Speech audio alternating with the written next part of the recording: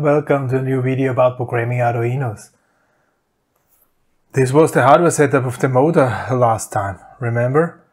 Power supply, transistor which is switching a relay and the relay is switching the motor. So if I'm switching here the transistor by touching the plus 5 volt, the motor is turning. So here we just need ground or we need uh, 5 volts. And this we're going to use at our Arduino. Okay, so we are selecting a proper pin of our Arduino to turn uh, to turn on and off the motor. Yeah, so this is going to a to a pin. We will use six. Yeah, and is this already sufficient? No, it is not. Yeah, even if we only need here plus and uh, plus 5 volt or 0 volt, we have to bring in a second line from our Arduino from ground to ground. Yeah? Because if we do not do this line here, we end up, we have here a different voltage than here, base voltage. The ground voltage is different, might be different, will be different. Yeah? It is simply, as we know, a voltage is only a potential difference. And if even if this to ground on the Arduino has 5 volts, it does not really mean, mean that here from this to this ground has 5 volts. Now that I've connected the grounds, all grounds are leveled. Huh? So plug the Arduino in. Bim, bidi, bim. Okay, so this should this should be alright. So I should now be able to use the Arduino to turn the motor on and off. Let's see if this is really the case. So, what do we do? New program save as, save under new name. I will use, and where are we? 22 already, right? Relay. We are switching with the relay. So I will define a motor pin. This was 6 the motor pin shall be an output.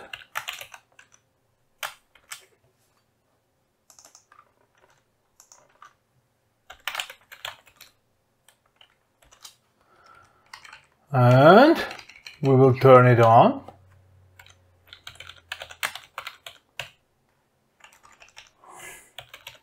Right, every time. Motor pin high. Delay. How long do we delay? I will simply also define here something.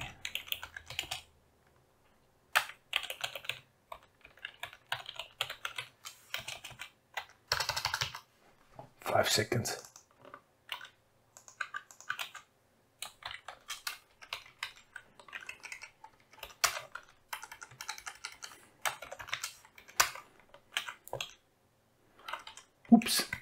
This was the wrong line. This. Huh? Now, I think I'm turning on the, the, the motor for 5 seconds, turn it off, wait 5 seconds. Remember we had this. There was a blink sketch looking pretty much the same. So upload this, let's see what is happening.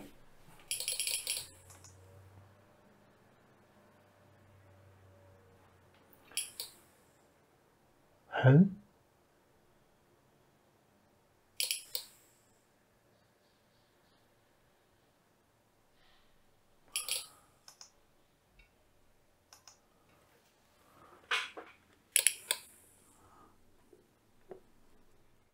What is going on? This is typical if, if ground is not alright. Let's see we will use now an LED to indicate whether it's working or not, whether it's controlled or not. Uh, so we will, here we should have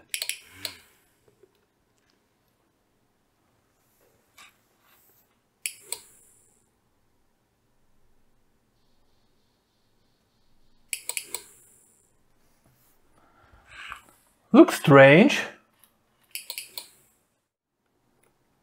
With ground, without ground, nothing is working. Ah.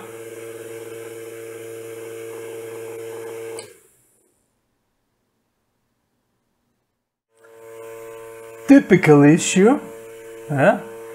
What was this? I just used, instead of here the ground, I've used it here. Yeah, you know, you see, it's also not working pretty well. Yeah, this is there are quite some some currents involved. Yeah, so there are there are uh, inductivities yeah, which are containing power yeah, or which will save power and so on.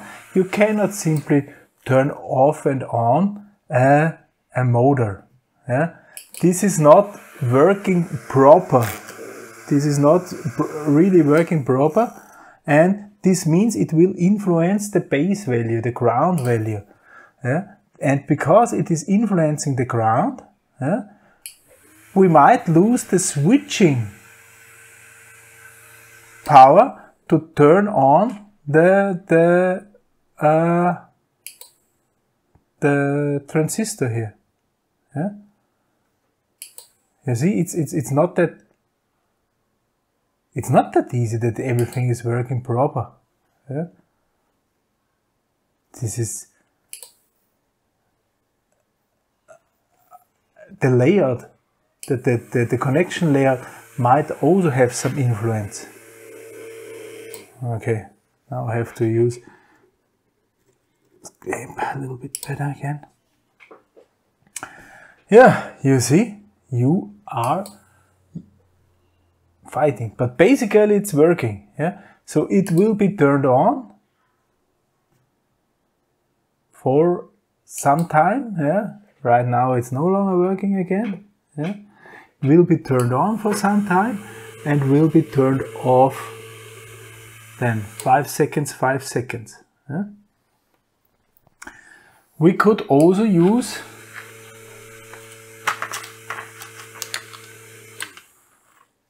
a diode. Yeah? This is a diode. We can, this is, this side of the diode is where it will block. So I will use now a diode between the plus where we turn it on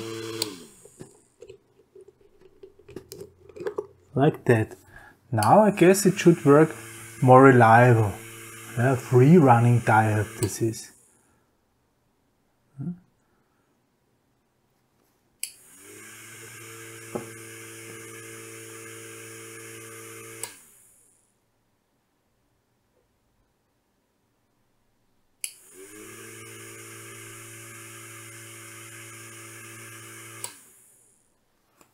Let's see if now even working if I plug in here. Ah. Hmm. Effects, effects we see here.